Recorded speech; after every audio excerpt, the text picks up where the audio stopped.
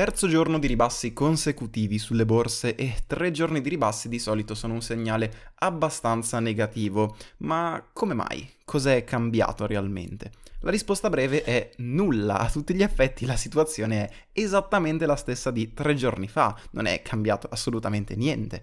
C'è stato però nel frattempo l'intervento di Jerome Powell, presidente della Banca Centrale Americana, che ho avuto il piacere di vedere in diretta e ci sono un po' di cose interessanti da dire. Inoltre vorrei anche approfondire con voi il discorso sulla disoccupazione, perché ho notato che è stato trattato forse in modo troppo semplice e abbastanza slegato dall'economia reale. Ma prima, sigla.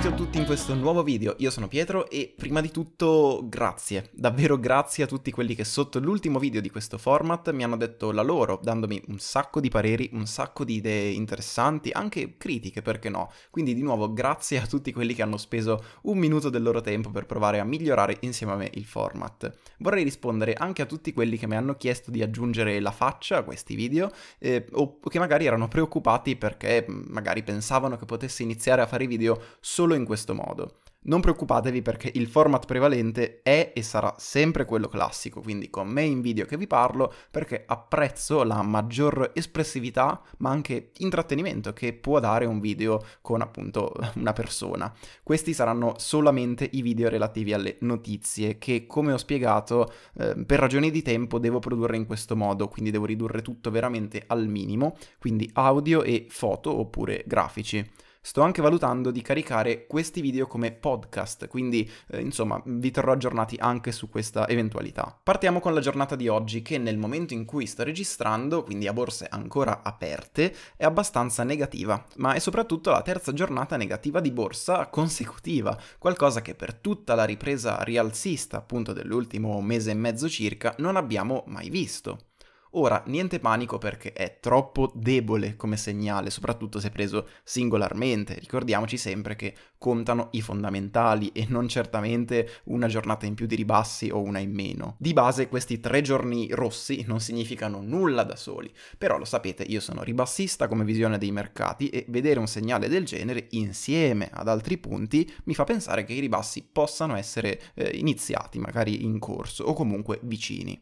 Non sono l'unico a pensarla così, anche Jerome Powell nella sua conferenza di ieri si è mostrato abbastanza pessimista, non sui mercati ovviamente, non preoccupatevi, ma sull'economia americana, o meglio direi piuttosto mm, si è mostrato realista ha fatto notare come l'economia potrebbe essere stagnante dopo una recessione di questo calibro, perché certi danni potrebbero essere permanenti. Ha parlato di una produttività a rischio, che sappiamo essere il principale aspetto che muove i mercati nel lunghissimo periodo. Se la produttività non cresce, beh, nulla cresce. Ha parlato poi di un tasso di disoccupazione che potrebbe avere il suo picco nei prossimi mesi, magari anche addirittura nel prossimo mese. E questa è un'ottima notizia perché significa che appunto tra un mese o più la disoccupazione rinizierà a scendere. Poi però ha subito aggiunto che la disoccupazione sarà ben sopra ai livelli precedenti la crisi per molto tempo, disoccupazione che ricordiamocelo negli Stati Uniti era praticamente a zero, o meglio circa il 4%. Dico zero perché una disoccupazione al 3-4% è fisiologica, non si può assolutamente evitare in dei paesi grandi e strutturati come gli Stati Uniti. Giusto per fare un paragone, in Italia il tasso di disoccupazione pre-crisi era di circa il 10%, quindi più del doppio. Powell ha anche fatto notare che non stanno valutando i tassi negativi, qualcosa di cui si vociferava negli ultimi giorni, anche nelle ultime settimane, ma che è stato subito smentito nelle domande e risposte che si sono tenute successivamente al suo discorso di apertura. Infine Powell ha concluso ricordando che la Fed presta soldi e non li regala, quasi a voler suggerire ai mercati che le aziende che adesso si stanno indebitando prima o poi dovranno restituire questi soldi. Insomma, è stato molto duro e i mercati hanno reagito di conseguenza, iniziando questo ribasso che stiamo vedendo. Voglio però stare un attimo sul discorso disoccupazione, prima di tutto spiegando perché è così importante. Gli Stati Uniti, così come molti altri paesi occidentali, sono paesi che basano la loro economia sui consumi, consumi delle persone. Se le persone non hanno un lavoro o magari hanno uno stipendio più basso, sono in grado di consumare meno o semplicemente potrebbero voler risparmiare di più perché sono preoccupate e quindi queste economie in queste fasi del mercato vanno molto male. Tanti hanno parlato della disoccupazione liquidando però un po' il discorso a qualcosa del tipo sì, adesso è molto alta, ma poi sarà di nuovo bassa. Certo, ma quanto poi? E nel frattempo cosa succede? Goldman Sachs, per esempio, che non è proprio l'ultima arrivata, si aspetta che il 75% degli attuali disoccupati sarà tornato a lavoro entro fine anno. Bella notizia, vero?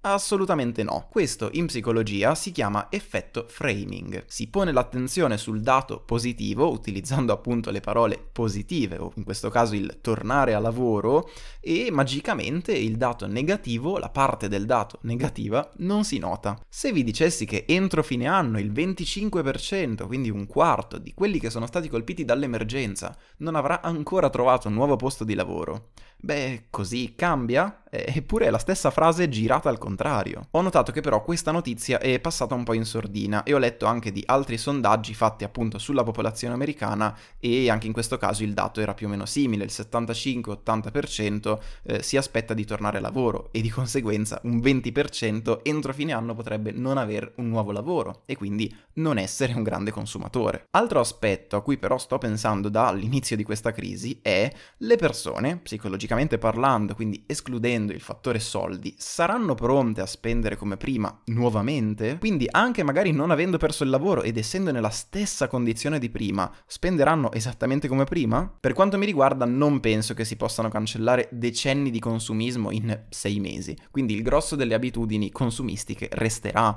ma ci vorrà un po' per tornare a riprendere con queste vecchie abitudini. Dubito fortemente quindi che nessuno andrà più fuori a mangiare per un anno o che nessuno farà shopping, però escludo anche che lo si farà eh, magari non immediatamente allo stesso modo, magari in modo più graduale. Dobbiamo tutti renderci conto che una disoccupazione così alta in economie di consumo, consumistiche diremmo oggi, è la cosa peggiore che si possa avere. E non lo sto dicendo assolutamente per spaventarmi, sapete che non amo il panico e che penso che ogni decisione debba essere ponderata accuratamente. Lo dico però per rispondere a tutti quelli che pensano che la situazione tornerà come prima entro fine anno e che quindi questi rialzi in borsa sono più che giustificati perché il mercato sconta tutto, o meglio, così ormai ci hanno abituato a sentire. Potrebbe, e dico potrebbe, non essere così. Io sono di parte e lo sono dichiaratamente, non voglio assolutamente nasconderlo. E anzi, sarò anche sincero con voi, sarei ben felice di sbagliarmi perché significherebbe che le cose vanno meglio di quanto pensi. Però al momento dobbiamo muoverci su ciò che sappiamo o su ciò che realisticamente siamo in grado di prevedere e secondo me non si prevede sole per ancora un po' di tempo tempo, ma magari assisteremo a ancora un po' di nuvole, un po' di pioggia, insomma, spero che questa metafora meteorologica vi chiarisca un po' come la penso. Ragazzi, spero abbiate apprezzato questo video e se sì lasciate un bel mi piace qua sotto e iscrivetevi al canale se volete vedere altri video come questo. Inoltre vi ricordo che questo format è ancora un test, quindi se volete continuare a dare dei suggerimenti per migliorarlo insieme a me, scrivete pure tutto qua sotto nei commenti. Quindi per questo video è davvero tutto, io vi saluto e alla prossima!